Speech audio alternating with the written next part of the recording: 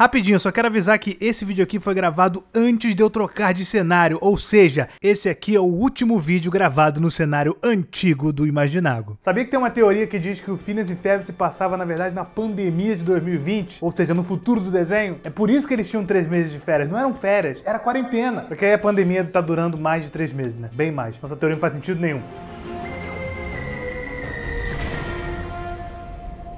Fala galera, eu sou o Imaginago e sejam bem-vindos a mais um vídeo. Hoje eu vou te contar a história de origem de mais um vilão das animações, o Dr. Doofenshmirtz, o clássico vilão de Phineas e Ferb conhecido pelos seus planos mirabolantes que sempre dão errado. Ele tem um passado muito triste, muito profundo que muita gente não conhece. Bem, sabe, foram tempos muito difíceis. Afinal de contas, ninguém nasce vilão. Acontece que a história principal esconde pra você alguns fatos pra você poder odiar o vilão. Isso é proposital. Mas mas o que eu faço aqui nessa série de vilões do canal é te mostrar a origem deles, de onde eles vêm e como eles se tornaram malignos como são atualmente. Então, meus amigos imaginários, vamos hoje conhecer a trágica e triste história do Dr. Heinz Duffer-Smith, de Phineas e Ferb. Boa história, eu conto tudo amanhã. Eu tenho que voltar ao meu novo esquema maligno. Agora, antes de começar, você tem que fazer o quê? Deixar o like no vídeo. Pô, eu quase não faço vídeo sobre séries animadas aqui porque é difícil acessar, mas agora com Disney Plus é o um novo mundo pra gente. Então deixa o like no vídeo se você quer mais vídeos sobre várias outras séries animadas da Disney por enquanto. Enfim, tamo junto, deixa o like aí.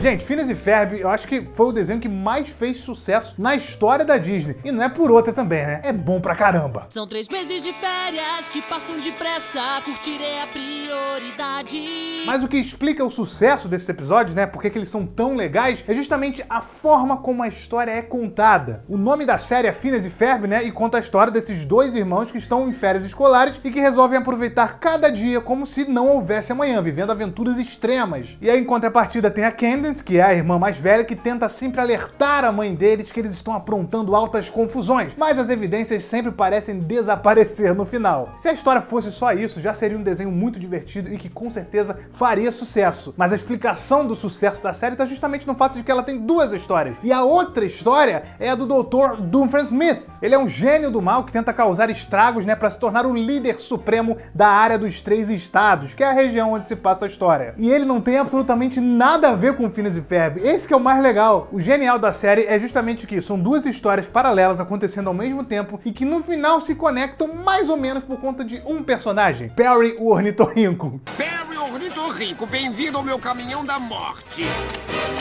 Ele é o ornitorrinco de estimação do Phineas e Ferb, que na verdade é um agente secreto disfarçado que tenta impedir o Dr. Doofenshmirtz de realizar os seus planos. Isso é absolutamente genial, galera. É essa parte que eu mais gosto da história, toda a ironia que envolve o Heinz Doofenshmirtz e o seu plano maligno absurdo. Aliás, pensa só, Doofenshmirtz e o Rumpelstiltskin, os dois a 80 km por hora. Qual o nome mais lazarento de falar? Enfim, vamos voltar no tempo agora para contar essa história triste, cara, horrível, é, é, que dá pena do Heinz Doofenshmirtz, que começa lá na Alemanha, que foi onde ele nasceu. Gente, desde a infância, a vida do Heinz Doofenshmirtz foi...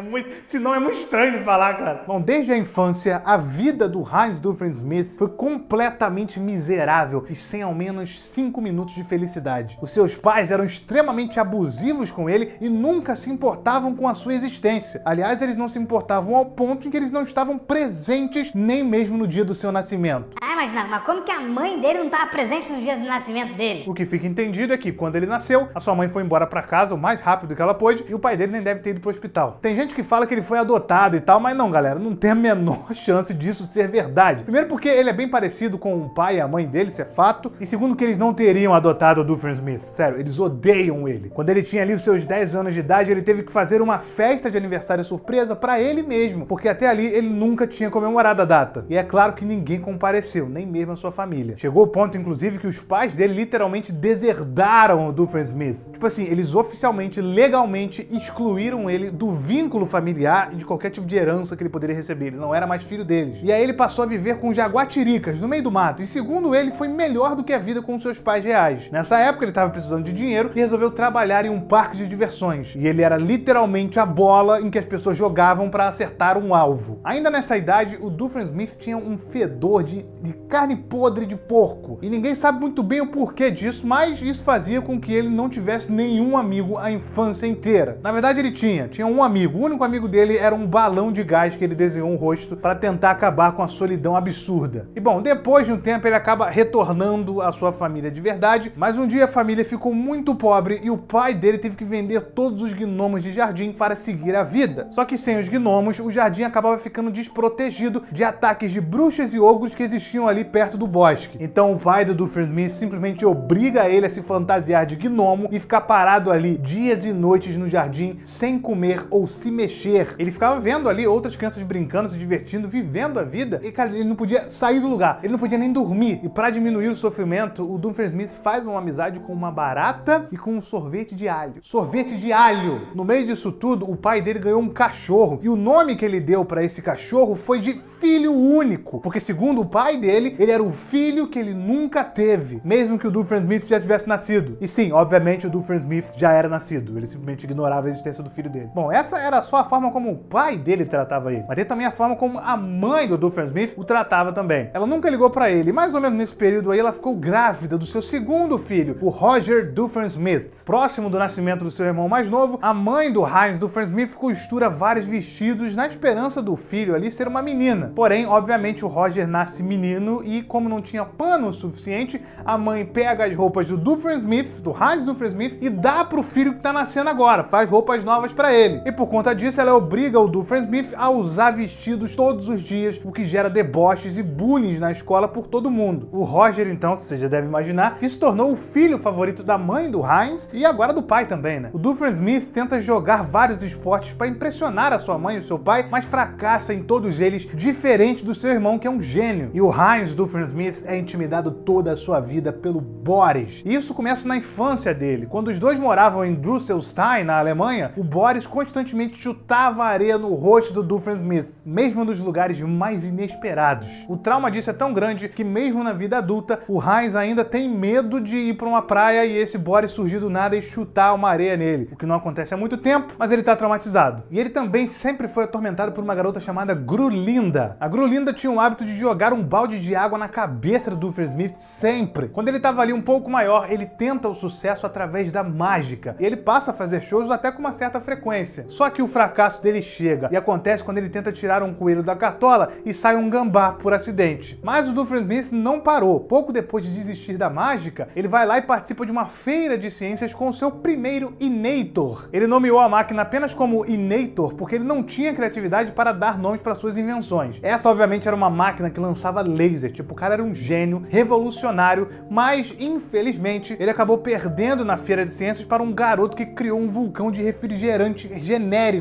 Gente, ele já tentou até ser um cantor, só que a voz dele é muito aguda e ele nunca conseguiu realizar esse sonho perfeitamente. Uma vez na adolescência, o Doofenshmirtz foi atacado por um enxame de abelhas e recebeu diversas picadas para salvar a vida dos seus, entre aspas, amigos. Ele acabou inclusive caindo de um penhasco para tentar se salvar e sofreu um terrível acidente que fez com que um hidrante ficasse preso na sua perna e que por estar localizado perto das artérias, ele não pode ser removido cirurgicamente nunca. Então é uma dor diária e infernal que o Doofenshmirtz sente na perna e nunca vai passar, é para sempre. Aos 15 anos de idade, ele resolveu trabalhar com teatro de sombras, né? E até que ele era muito bom, inclusive, e ele conseguiu uma namorada. Mas não dura muito tempo porque chega um cara que também faz teatro de sombras e nem era tão bom assim, mas ele vai lá e rouba a vaga do cara. O cara é azarado, ele sempre perde, mesmo sendo melhor naquilo que ele faz. Aos 16 anos, ele foi enganado pelos seus pais que pediram para ele ir para uma loja comprar dozen crowns, e eu não faço a menor ideia do que, que seja isso de verdade. Mas na verdade, os pais dele fizeram um desenho de uma porta na entrada de um navio, criando uma falsa loja. O Doofenshmirtz acabou entrando no navio e foi forçado a deixar o seu país e ainda trabalhar como faxineiro, porque ele não tinha como pagar passagem. E aí é nesse momento que ele vai parar justamente na América, né, nos Estados Unidos, onde tudo começa a se encaminhar para chegar ali no momento em que o Phineas e Ferb nasce. No ensino médio, o Doofenshmirtz filma a si próprio em uma cena muito embaraçosa, onde ele tá ali só de cueca e com uma capa e ele patina por uma sala e cai inclusive de cara numa privada,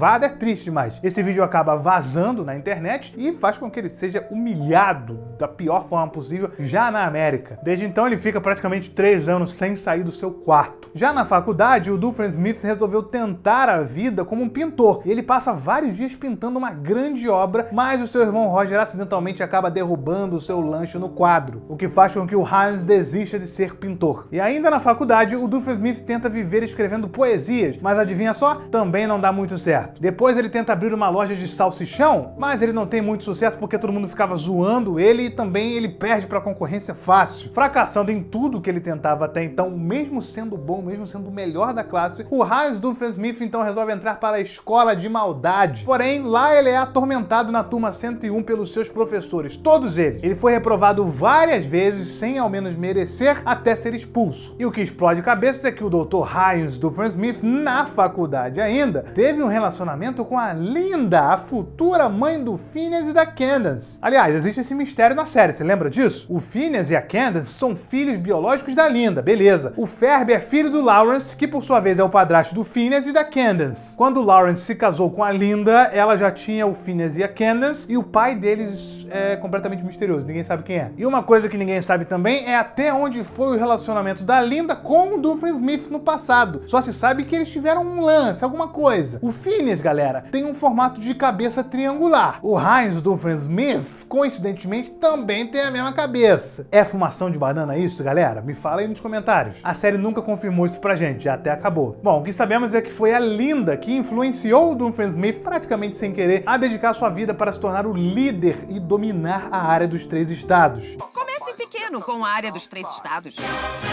Enfim, voltando pra faculdade ali, o Doofenshmirtz conheceu a Charlene, né? Que ele passou a namorar e depois até se casou. Será que ele não trocou a Linda pela Charlene, cara? Será que tem que insistir nisso? Enfim, Charlene e Doofenshmirtz tiveram uma filha chamada Vanessa, famosa Vanessa, e aparentemente o Doofenshmirtz sempre foi muito presente e carinhoso com a Vanessa durante toda a sua vida, apesar de ela não dar muita bola pra ele. Provavelmente esse comportamento dela vem por conta do divórcio dos seus pais que ocorreu um tempo depois que ela nasceu. Aliás, todo o dinheiro do Doofenshmirtz que ele usa pra fazer seus Inators e mais Inators e Ultra Plus Inators vem da pensão que a Charlene paga pra ele todo mês. Ela é muito rica e aí meio que ela dá dinheiro pra ele. Após o divórcio, o Doofenshmirtz vai atrás de uma casa de orçamento baixo. E aí ele chega em Dunville, que é onde fica o famoso edifício dele, que é onde se passa o desenho, que é um lugar inclusive extremamente mal localizado. O mais curioso é que o Doofenshmirtz vivia fazendo várias festas para sua filha Vanessa em todo aniversário dela. Ela não gostava muito, mas ele fazia talvez porque na infância dele ele nunca teve uma festa de aniversário de verdade. E bom, em algum momento o Doofenshmirtz se apaixona por Elizabeth, que é uma mulher que tinha uma estranha obsessão por baleias, tá? E para impressioná-la, o Doofenshmirtz constrói um tradutor genial que permite ouvir o que as baleias falam. Mas ironicamente, ao colocar o tradutor no mar, é revelado que as baleias estavam falando mal do Doofenshmirtz e pedindo para Elizabeth deixá-lo. E ela aceita o pedido e passa a viver com as baleias. Bom, depois dessa bizarrice traumática, o Doofenshmirtz até tentou namorar algumas vezes, mas ele nunca mais conseguiu entrar em um relacionamento sério. E tudo isso enquanto ele tentava virar o líder supremo da área dos três estados. Galera, o Doofenshmirtz desistiu algumas vezes desse caminho do mal aí que ele estava sempre indo. Mas tinha alguma coisa que fazia ele voltar, que puxava ele de volta, que fazia ele fracassar em tudo ao redor. Teve um episódio que ele desistiu da maldade para fazer queijo, mas dá errado. Teve também um episódio que ele desistiu para dar seminários motivacionais e dá errado também. Cara, essa história do Doofenshmirtz para mim é muito triste, porque mostra que o cara era uma pessoa boa e que tentava não ir pro caminho do mal o tempo todo. Durante toda a sua vida ele tentou trabalhar honestamente em diversos empregos, mas sempre foi rejeitado e humilhado de uma maneira bizarra, mesmo sendo o cara que podia mudar o mundo. E mesmo, cara, sofrendo todos os dias, ele ainda desiste do mal várias e várias vezes. Mas é aquilo, cara, sem nenhuma oportunidade mínima, digna, o cara não conseguiu. Ele volta e fica realmente preso ao mal. A única coisa que ele tem que é correspondida, cara, é a sua rivalidade com o Perry Ornitorrinco, que já foi confirmado que lá no fundo ele se sente feliz quando ele briga com ele, porque é uma coisa que, mesmo sendo um sentimento negativo, o Perry tá sempre se importando em impedir ele e ele também é o Perry. Com certeza a parte da história de Phineas e Ferb do Doofenshmirtz era melhor, cara. Essa rivalidade dele com o Perry, pra mim, era o meu momento favorito, apesar de gostar do Phineas e do Ferb. Concorda comigo nessa parte? Deixa aqui nos comentários, quero saber o que você acha dessa série maravilhosa, uma das melhores que eu já vi na minha vida. Só não sai desse vídeo sem clicar no meu rosto aqui, ó, tá vendo aqui? Clica e ativa o sininho pra você ficar sabendo de todos os outros vídeos que eu vou postar sobre outras séries da Disney que vocês vão me dizer aqui embaixo, tá bom? Eu sou Imaginago e fui!